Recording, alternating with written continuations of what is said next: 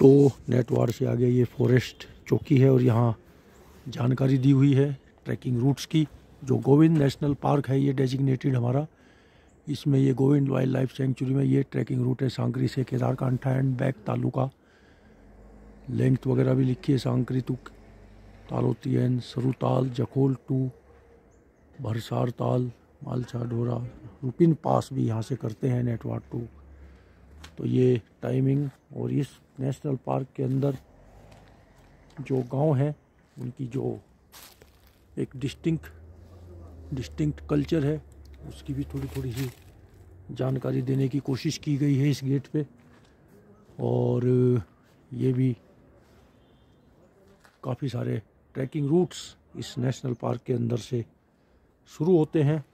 और ये यहाँ इसका एक तरीके से फिर एंट्रेंस गेट है इस, ये। काफ़ी बड़ी संख्या में ट्रैकर्स आते हैं यहाँ। रूपिन पास वगैरह ये सब करते हैं।